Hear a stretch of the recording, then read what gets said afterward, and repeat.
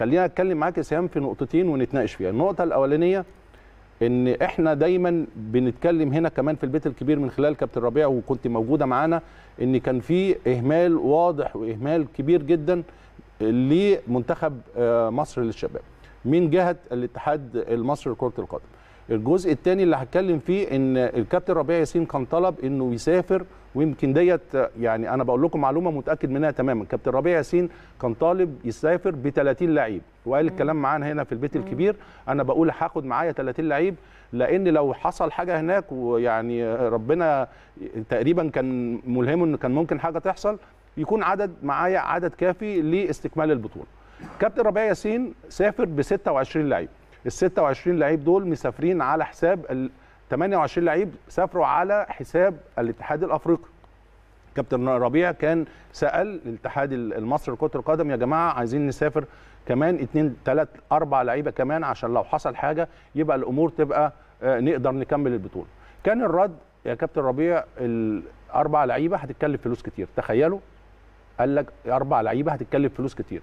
اتحاد الكورة واللجنة الخماسية ما كانش كمان عندها سبورت الكابتن ربيع. ما فيش رئيس بعثة. بتتكلم على الأربع لعيبة هيكلفوك كام عشان يسافر مع الكابتن ربيع؟ والظروف اللي حصلت ديت لو الأربع لعيبة دول موجودين كان الكابتن ربيع والمنتخب كان لعب مباراه مباراة ليبيا. وأنا بقول لكم كان كنا هنكسب مباراة ليبيا. بالظروف اللي حاصلة بالإصرار بتاعه اللعيبة بطموحهم كنا هنكسب مباراة ليبيا. لكن يا سهام المشكلة الكبيرة اللي بنتكلم عليها دايما ليه الإهمال دايما لمنتخبات الشباب والمنتخبات الأولمبية والمنتخبات الأدنى للمنتخب الأول؟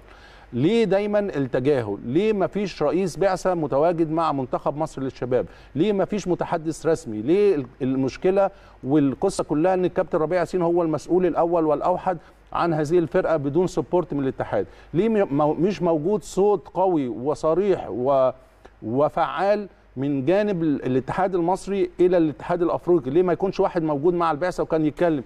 أنتوا اجلتوا للرجاء لازم الماتش يتأجل. الصوت القوي ده ما وصلش ليه؟ ودلوقتي بنقول لك أصل هنبعت طيارة خاصة نجيب اللعيبة. لا اللعيبة مش عايزة تنزل. اللعيبة عايزة تكمل المباراة. وانت بتبعت الطيارة الخاصة دي ابعت أربع خمس لعيبة. يعني مصاريف الطيارة الخاصة دي لو كانت اتحطت في أربع خمس لعيبة سافروا مع البعثة من الأول ما كناش عندنا المشكلة دي فليه ليه دايما بنوصل للمشكلة وليه الإهمال وليه جيل كامل وحلم كامل ل- مستقبلهم. مستقبل, مستقبل ناس مستقبل بيضيع اهو بيتوقف على إهمال واضح جدا. أنا آسف في التعبير إهمال واضح جدا يا جماعة. الكلام ده من خلال سنين وأنا عشت الكلام ده. المنتخبات الشباب منتخبات الناشئين المنتخبات الأولمبية ما عندهاش أي يعني سبورت من الاتحاد إلا في لحظات النجاح. لحظات النجاح وصول المنتخب الأولمبي. آه ده إحنا وفرنا لهم عملنا لهم خروجهم. لا إحنا مالناش دعوة المدير الفني هو المسؤول. عشان